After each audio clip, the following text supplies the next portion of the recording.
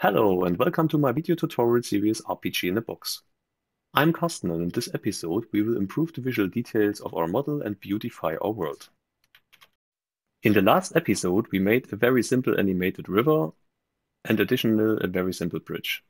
And in this episode we will plan our animation sequences over the time systematically and additional we will build a new bridge from a structured block generated of layers from the noise generator. Before we start, I deleted all old models, so we will create the new ones yet. So we opened the straight river from the last episode and I erased all frames and the animation stuff and we will create it again yet. So the concept is to create an animation over time in four steps. So we will use four frames and then the animation starts again. So we have a sequence over four time steps and we want to plan it. So we need a concept to do it yet. At first, I will color the lines where the animation should flow. So I think at these lines. And then we have our bubbles or waves or something else, call it as you like. And we want to animate them over time. So in the straight river, it's really simple. My flowing direction is to the front, so the water is flowing from here to there. And now we will plan our animations. So I will use different colors, one color for each frame, to plan my flowing animation in the time, and then I will copy it from frame to frame and erase the old colors. So let's start. We saved the color for our water in the last episode at our color palettes. So use the custom palette and we have the watercolor there. And we need additional a new color to do our animation. So we define it yet with the color code 7597E9. So that should be our animation color. So we draw the first frame at these positions. It's not really complex, so maybe you like you don't like it and you want to do a better one, feel free so maybe there are better solutions to animate things over time. So if you know a better solution, let me know in the comments. I'm really interested in. So the next frame should be with this color at one voxel further. And I use this color for the third frame. And then we get it for the straight river. The fourth frame should be the white marker. Okay. So now we copy that frame and we erase all wrong markers in the first frame by repaint it with our watercolor. Like this. So that's the first frame. And in the second frame, we use this and copy it again. And then we erase the markers for this animation frame. Except the gray ones. and we repaint it with our watercolor.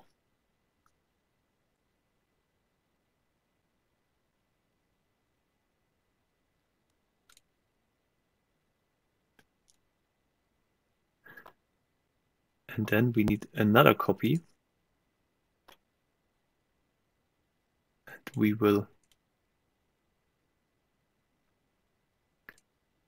erase all markers except this one?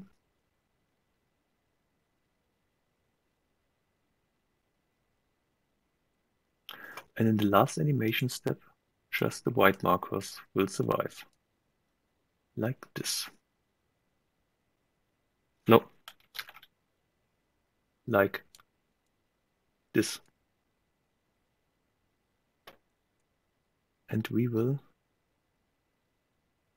draw our animation color over the markers.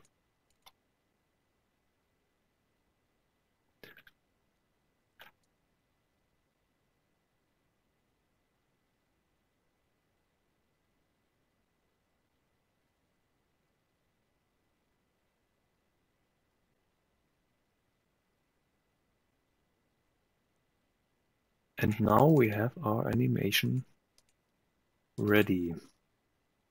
So we can script it as default from frame 1 to 4 in a loop with speed 8. Okay. Overwrite it, go to the preview and save before.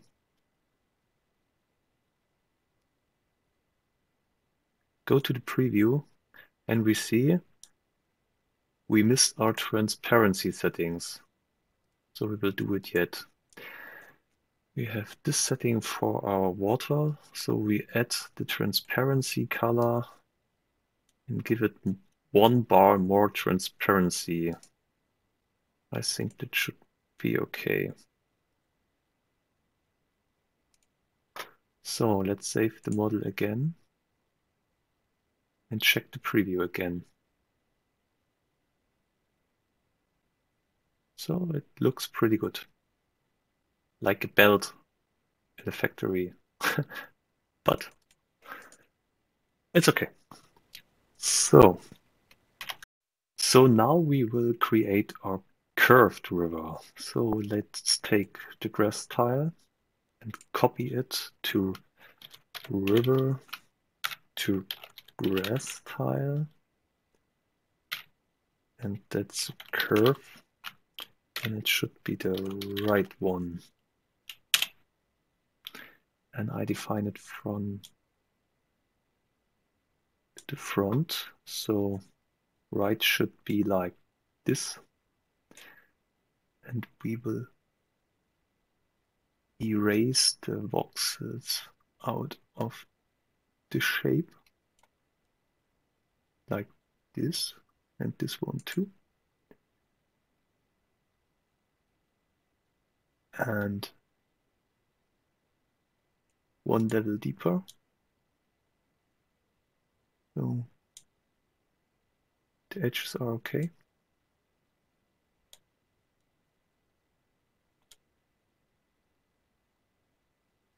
And then we will color it with the sand color. Let's take this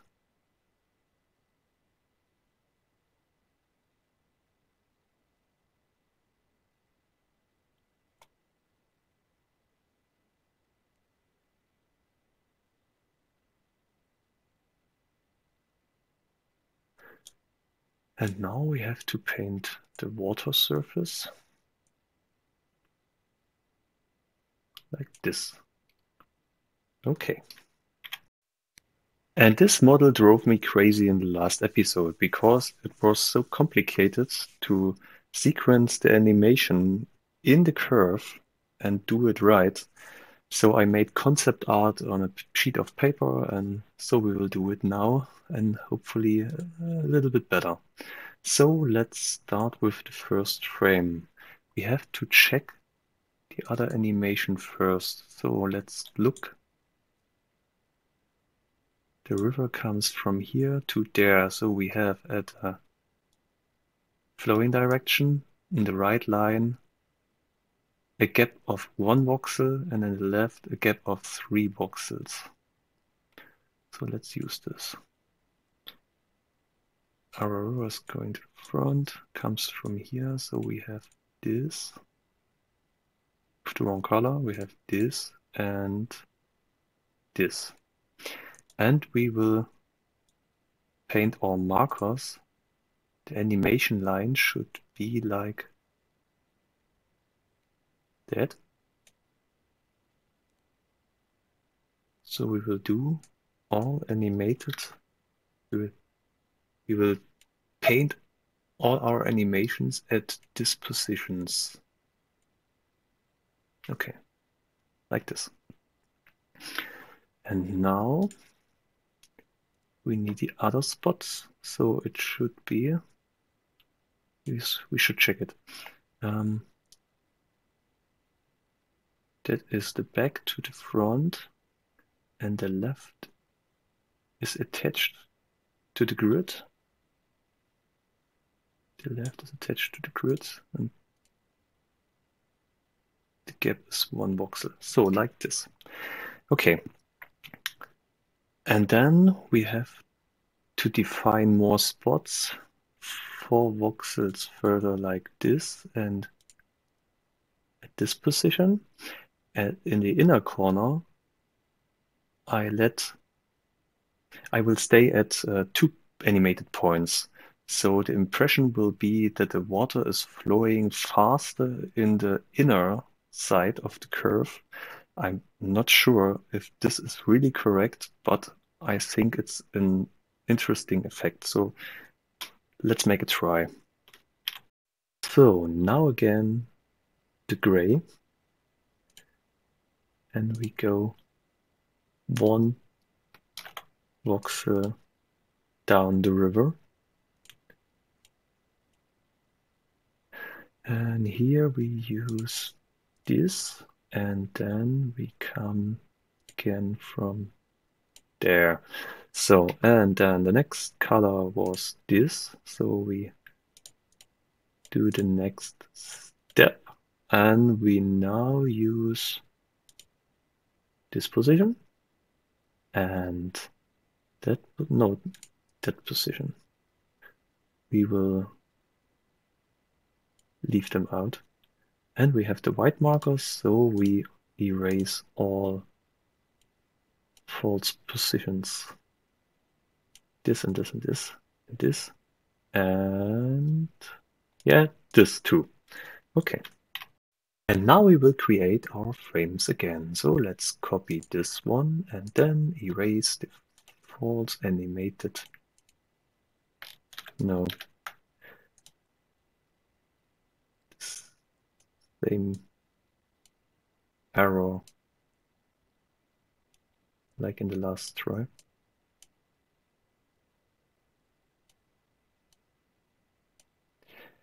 So like this, and then we copy that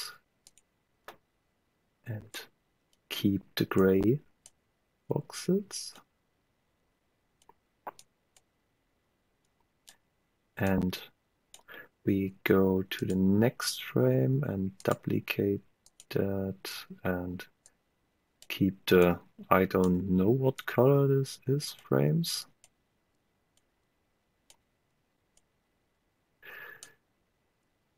Like this. And in the last frame, we keep the white voxels like this. And we made it. So let's recolor our animation stuff. So, and check the transparency effects. There are no transparency effects. Okay, so we do it later. Uh, we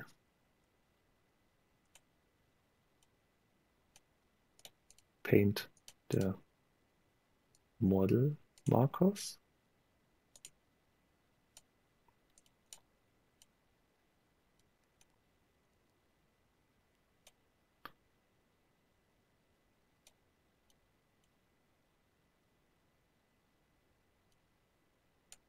And now we can redefine our transparency effects.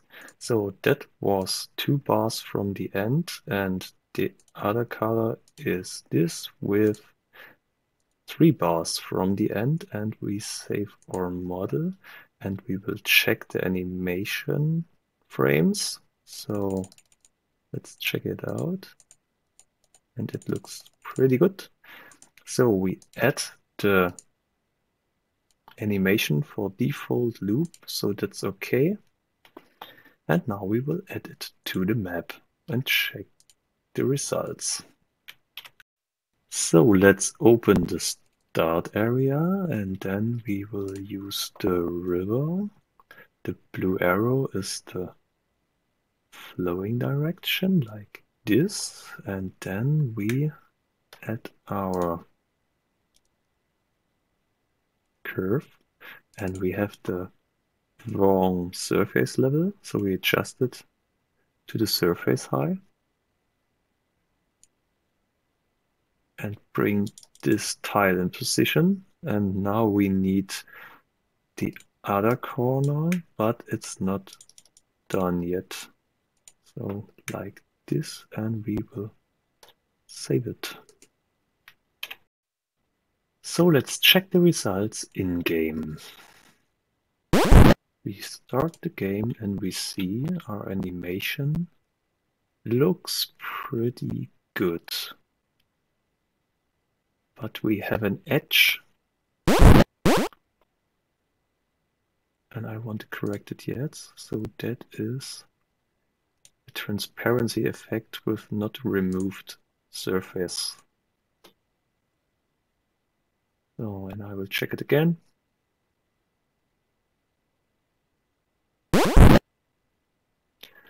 And I think that looks pretty good. So let's do the next curve so let's do the other curve. We have actually the curve right. So let's do a river grass curve left. Uh, and with a symmetric model animation, we should use the mirror tool but there is a little complication. We have different gaps at this position, so we have to correct them. But in the first step, we also can use uh, we can use the mirror tool too. So let's flip our model and I think it should be done by adjusting the frame numbers. So let's try it out. The river is flowing in this direction, so that should be okay. The left curve, the right curve, yeah.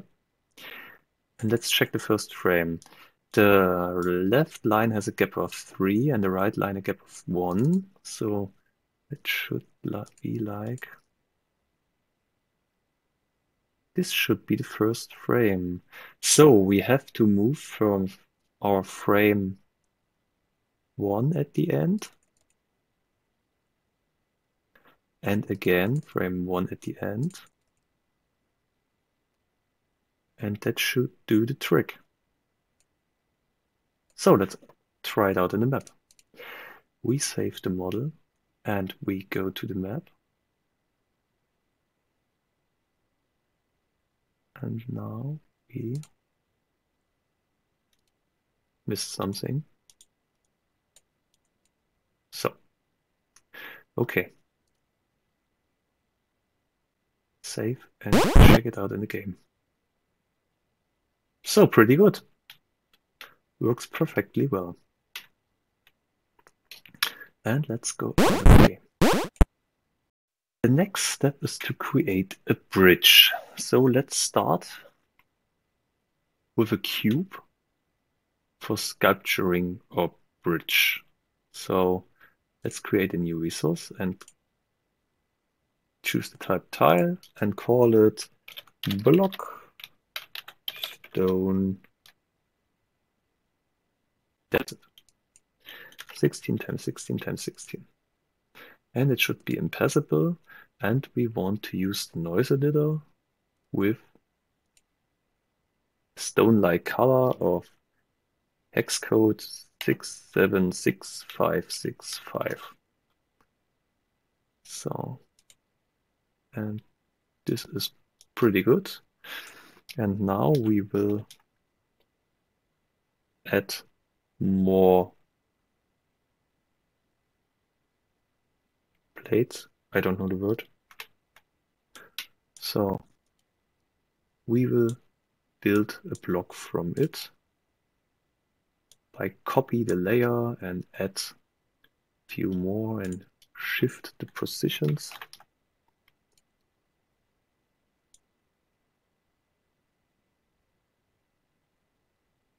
Like we did before in the last episode. One, two, three, four. One, two, three, four, five, six, seven, eight. One, two, three, four, five, six, seven, eight. So accept and we don't have to shift that one because we would shift it to 6 by 16 and that is absolutely senseless. Okay, we made it. We will save the model and then we will copy that again to build a bridge of, of stone. Okay. And now we want to sculpture our bridge from this rock block, stone block. So we erase these voxels like this and then at a position 5 to this position we erase this one and then we need a high of two voxels at the start and the end of the bridge like this and all other should be three like that so we erase all these voxels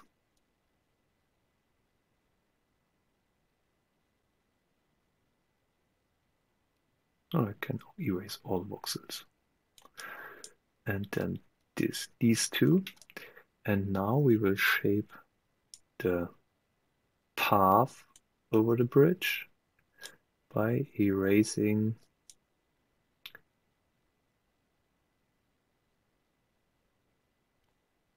these voxels too.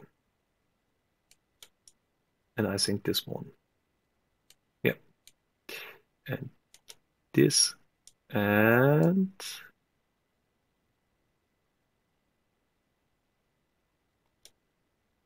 that should be correct. Okay. And now we will bring this bridge to our river, but not the river itself. We will use let me know about it. We will copy that one and we we used the name. So let's call uh, bridge with a placeholder. We will rename it later, but the name is blocked, so we have a problem. And now we use the bridge to paste it in this model. So we have our animation under the bridge. So we accept this one and now we have to save and we can close all other resources to then erase the stone bridge, delete the stone bridge Okay. And now we can rename this one to bridge. And the bridge is, oh, there, there is another name. The bridge is uh, obviously on a river and attached to grass and from stone. So that's it. And let's place the bridge in our map, the river direction is this, and we have to draw an interaction line a walk in interaction line and save it. And now we will do the final test. So let's jump in the game. Start. And we missed something. There is not just this bridge at the river. We have four animation frames and we inserted the bridge in just one frame. So we have to adapt the other frames too. To avoid a blinking bridge. So save it and back to the game. And now we got it. Okay. Mission completed.